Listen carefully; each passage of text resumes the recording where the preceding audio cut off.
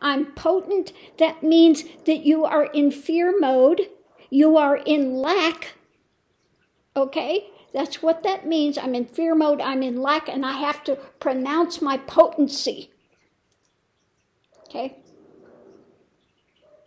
Because only ego is in lack and needs to feel potent. In realization, all of that stuff gets what? Nibbana, nirvana, blown out. Okay? You understand what it blown out is? Okay? So,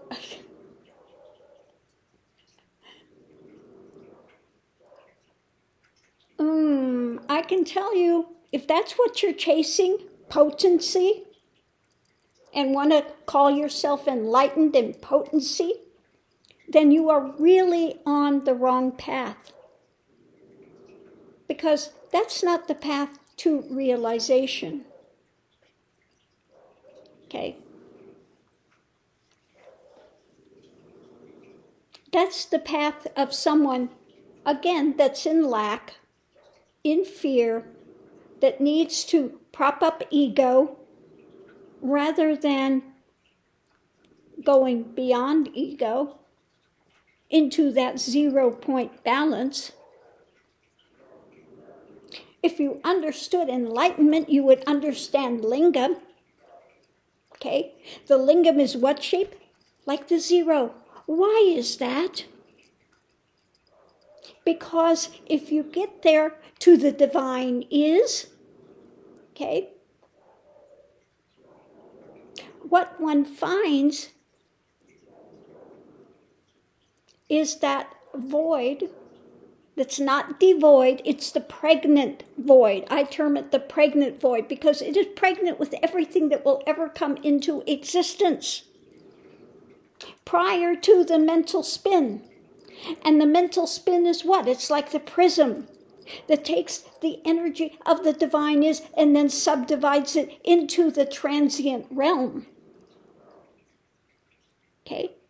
Now, if you are anywhere close to enlightenment, like you want to claim, okay, you would know that. You would know that Advaita enlightenment is prior to the divisionary realm of Dvaita. Okay? So, yes, I see you've got a Hindu name, you put on a sari. Okay, very nice. Okay. You speak some Hindi. Maybe you've gone to India, Anajana, back and forth. Okay, maybe you stayed there for a time. But I see so many people that want to go to India and they're playing the spirituality game. Okay? They're not actually there to do the hardship.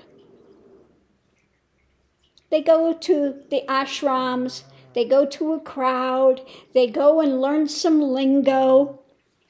Okay? That's not enlightenment. Okay? And most of the ashrams there, 99.9% of them are very political. That's why when I was living in India, I never lived at any ashrams. Okay? You go to the banks of the Ganges and you do your sadhana. It's an internal journey. It's not the spiritual circus of going to somebody like Nityananda or the Sadhguru that's selling this and selling that and saying everything that ego likes to hear. Okay? It's something quite different than that. So, thank you for coming to the channel here. But your claim of enlightenment and potency shows immediately that there's not even a rudimentary understanding, even in the logical framework, let alone actual changes in consciousness as to what you're saying. Okay? And I tell you once again, Nityananda is guilty.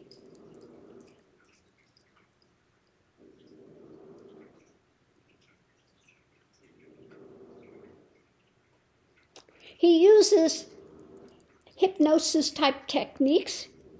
He tries to awaken Kundalini, and I went to him and told him, What you are doing is dangerous. You know what his thing was? I'll figure it out later. Okay? Yeah. So he's running, he's hiding.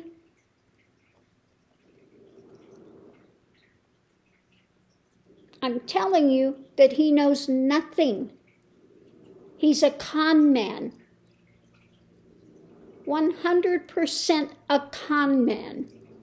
All of his hagiography is made up. When he says he was in the Himalayas, he was in a small ashram which he couldn't even complete. Okay?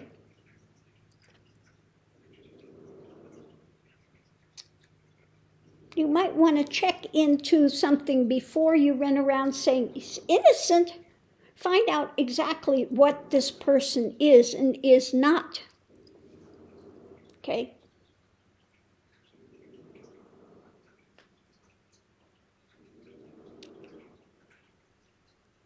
You know, I was one of the first people out there outing this guy. Because I've seen what he's doing. I know it's 100% bogus. Egos like it. Okay? $15,000 and you can come and get a mirror so you can stare at yourself. Okay? He's telling you all these lies about powers and this and that, and it's nonsense. Okay? He is not a genuine guru. A genuine guru does not sell courses. The path is not for sale.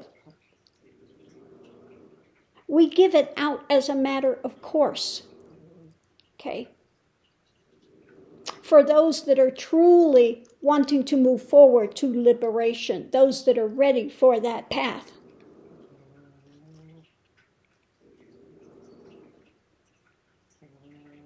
So please don't be taken in by these con artists, these guys, okay?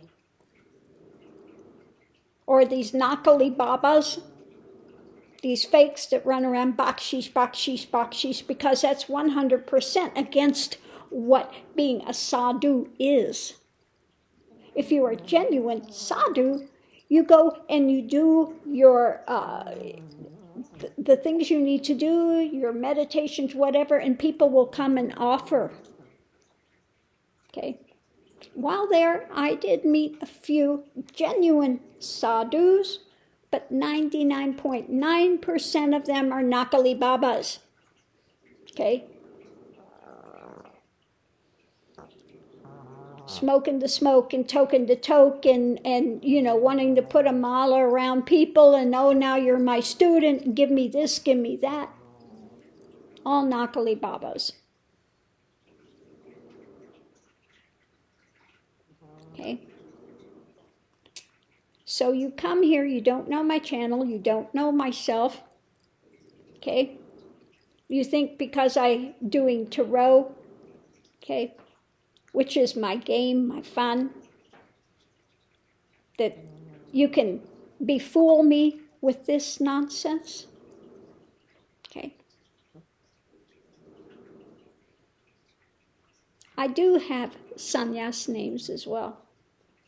Guru Swamiji, most people know me by. I am a completed guru. of Kundalini. I went through the Kundalini path, completed it in 1999. You can find my books on Amazon, on Advaita, Kundalini, etc. No nonsense, no BS. Okay? The real deal.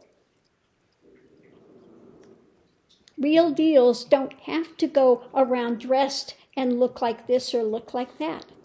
Because realization is of consciousness. It's not about what clothing you are wearing. Okay?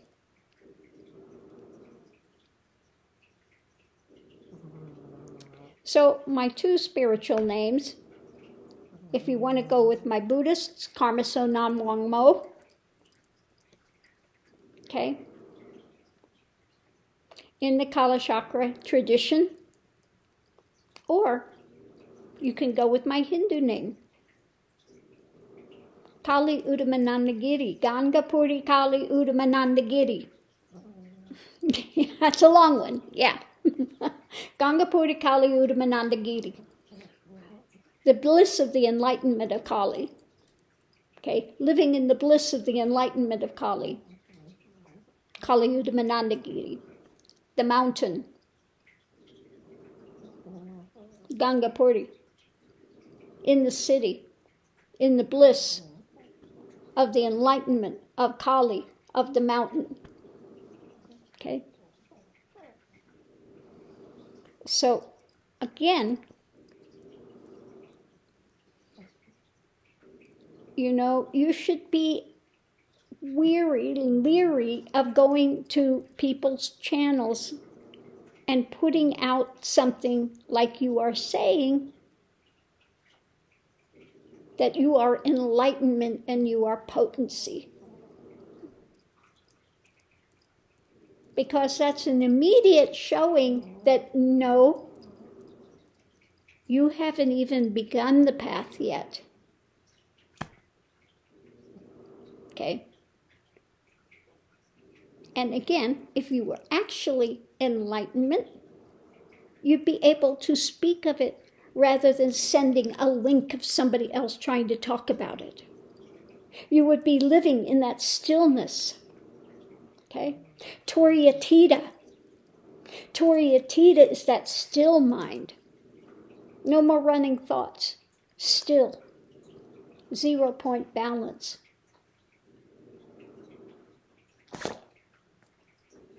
In that stillness, the world revolves around it, like the linga. That's why they have the linga. That is what is representing. In the center is that stillness. The divine is. And around it comes the yoni, comes Shakti, comes the transient. But you are in stillness. That's what remains. Okay? So I'm going to leave this here. Good luck with your journey. But don't make yourself look foolish by putting out claims as to something you can't even address without sending a link for somebody else trying to explain what they think it is. Okay? Namaste.